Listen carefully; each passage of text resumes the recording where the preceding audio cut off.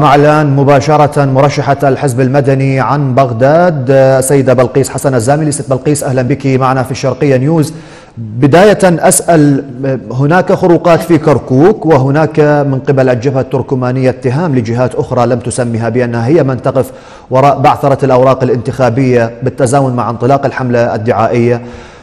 في بغداد أيضا هناك ضبابية وهناك عشوائية في ملصقات المرشحين. من هو الضابط ليحفظ أمن المرشحين وأمن الملصقات وبالتالي أيضا تكون هناك آه، يعني تكون هناك قوانين تحكم المرشحين في أماكن الملصقات ونوعية الملصقات حتى. تفضلي. نعم. نعم شكرا جزيلا لك. مساء الخير تحية لك ولقناتك الكريمة ومشاهدينك الكرام.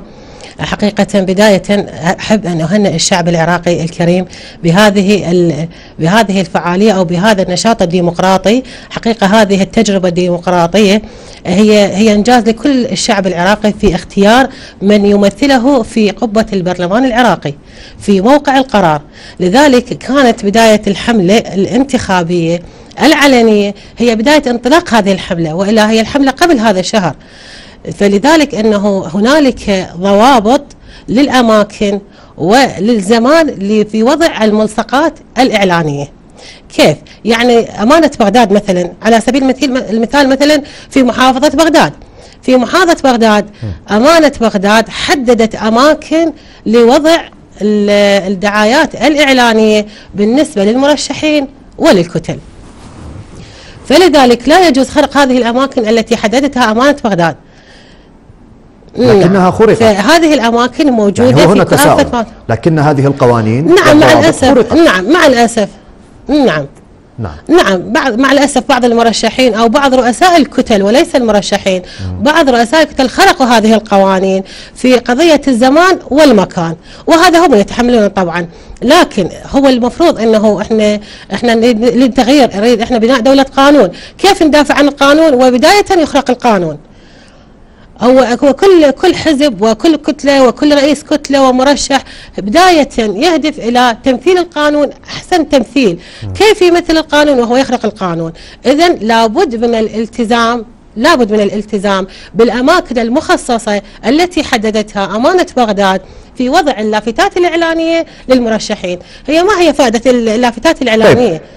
هي تعريف للمرشح يعني فقط لو تسمحي لي المرشح إنه هذا المرشح فيما لو لم يلتزم نعم. مرشح معين بهذه الضوابط من سيحاسب هذا المرشح السؤال م. الذي طرحتيه قبل لحظات هو يطرح من قبل الناخب إذا كان المرشح لا يلتزم بالقوانين نعم. قبل وصوله إلى البرلمان عندما يصل إلى البرلمان نعم. ماذا سيفعل إذن؟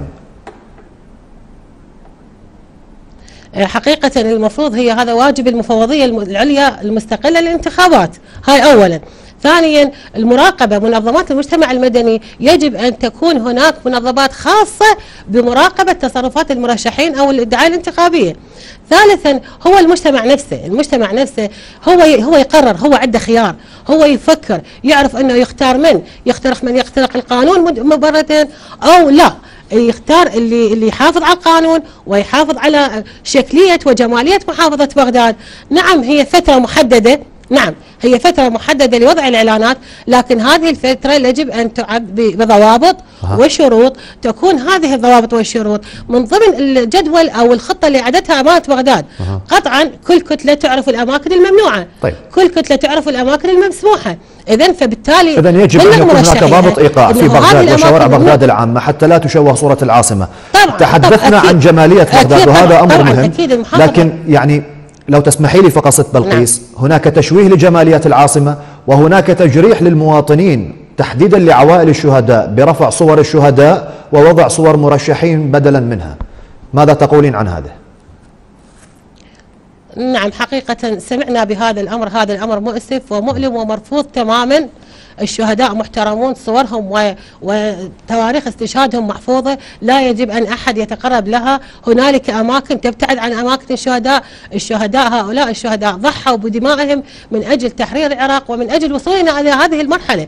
اليوم هذه المرحلة من الأمان ومن الديمقراطية ومن هذه المشاركة التي يشارك بها جميع أطياف الشعب العراقي دون استثناء بطوائفهم بقومياتهم بعراقهم في هذا التنافس الديمقراطي الشريف بدماء دماء الشهداء. اذا دماء الشهداء محترمة وأي تجاوز على أي صورة من صور الشهداء مرفوض تماما ويرفض تماما وغير مسموح به سواء من رؤساء الكتل أو من المرشحين أو من طيب. ايا كان. بلقيس هل تعتقدين فيما لو يعني استمر استمرت حالة غياب القانون بالنسبة لقضية المرشح الذي يقوم برفع صورة شهيد من مكان معين ويضع صورته. غياب القانون والقوة قوة القانون هنا قد تكون هناك صدامات بين عوائل الشهداء أو مواطنين عاديين وبين يعني مثلا من يعمل مع النائب والذي يعلق الصور. قد يكون هناك تشابك. فبالتالي غياب القانون إن استمرت هذه الحالة قد تؤدي طبعًا. إلى نتائج طبعًا. عكسية لا سمح الله. طبعا أكيد في غياب القانون تحصل مثل هذه المشاكل بين عوائل الشهداء والمرشحين، بين عوائل الشهداء والذين يعلقون صور المرشحين وحتى من المواطنين العاديين، اليوم أنا كمواطنة كمرشح عن الحزب المدني أرفض بشدة وتماما كل من يتجاوز على أي مكان أو أي صورة من صور الشهداء. اليوم إذا أنا أمشي بالشارع وأشوف أحد يعلق صورة لأي مرشح كان من أي حزب من أي مكون فيه تجاوز على صورة أو في ملصق لشهيد هذا مرفوض تماما. أنا أمزق الصورة بيدي أمزق صورة هذا المرشح كائن من يكون. حتى لو كان رئيس كتلة حتى لو كان رئيس احتلاف حتى لو كان رئيس تآلف. اذا الاعتداء أو التجاوز على صورة الشهيد هذا شيء خط أحمر. دماء الشهداء خطوط حمراء لا يمكن الاقتراب منها. نعم القانون ملزم بتطبيق هذا القانون. الحكومة عفوا ملزمة بتطبيق هذا القانون. كذلك الضمير الإنساني الضمير الإنساني والمجتمع المجتمع بصورة عامة هو المسؤول عن هذه الحالة. ممنوع الاقتراب من صور الشهداء ممنوع التجاوز على صور الشهداء بأي حال من الأحوال.